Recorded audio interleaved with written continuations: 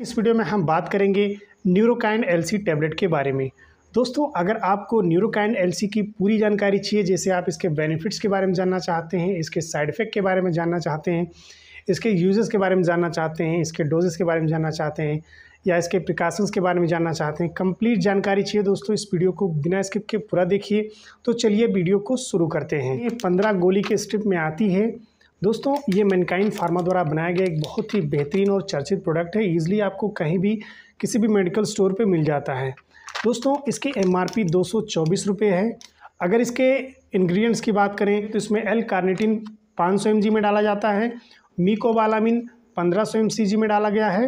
और folic acid इसमें 1.5 point में डाला गया है। बात कर लेते हैं इसके बेनिफिट्स की इसके यूजेस की कि किस किस केस में इस टैबलेट को दिया जाता है। अगर किसी बंदे के अंदर न्यूट्रिशन की डिफिशियंसी हो गई है उसके अंदर बहुत ज़्यादा कमज़ोरी हो गई है उसका जो है उसके बॉडी में वीकनेस है ऐसा लगता है कि न्यूट्रिशन की कमी हो गई है तो न्यूट्रिशन की कमी के केस में इसको दिया जाता है। अगर आपके शरीर में विटामिन्स का इम्बैलेंस हो गया विटामिन्स की कमी हो गई है तो उस केस में भी दिया जाता है। यूरोकाइन एलसी में जो विटामिन्स डाले जाते हैं, वो आपकी बॉडी के लिए बहुत ही ज़्यादा ज़रूरी होते हैं। आपकी बॉडी की फंक्शनिंग के लिए, आपकी बॉडी को रन कराने के लिए, आपकी दिनचर्या के लिए बहुत ही ज़रूरी होते हैं।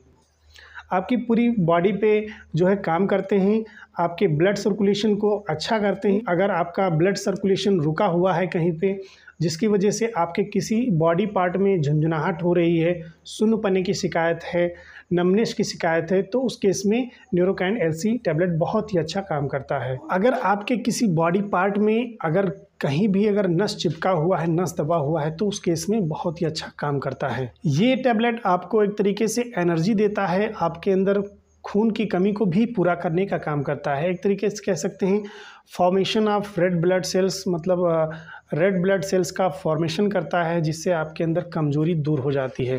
दोस्तों, अगर इसके साइड इफ़ेक्ट की बात करें तो नाजिया वोमिटिंग हेडेक इसी तरह के कुछ साइड इफ़ेक्ट्स हैं। अगर इसके प्रिकॉशंस की बात करें तो जितनी डोज आपको बोली जाए डॉक्टर्स के द्वारा, उतनी ही डोज लेनी है। चूँकि कोई भी दवा हो, वो ज़्यादा नहीं लेनी चाहिए आपको, चूँकि ज़्यादा लेने से आपको कोई भी साइड इफ़ेक्ट दे सकती है। और स्पेशली प्रेगनेंसी में लेने से पहले एक बार ज़रूर अपने डॉक्टर से कंसल्ट करें। इस टेबलेट को लेने के दौरान आप ड्राइव कर सकते हो या आपको लीवर संबंधित बीमारी है, किडनी संबंधित बीमारी है तो भी इस टेबलेट को लिया जा सकता है। लेकिन दोस्तों, विशेषकर अगर आप कोई गैस की दवा ले रहे हैं तो उसको दो घंटे के अंतराल में लें, क्योंकि इस टैबलेट के साथ में आपको एंटासिड टैबलेट नहीं लेनी है। अगर इसके डोजेस की बात करें तो जनरली एक टाइम इस टैबलेट को दिया जाता है। आशा करता हूँ इस प्रोडक्ट के बारे में आपको पूरी जानकारी मिल गई होगी और आप संतुष्ट हुए होंगे।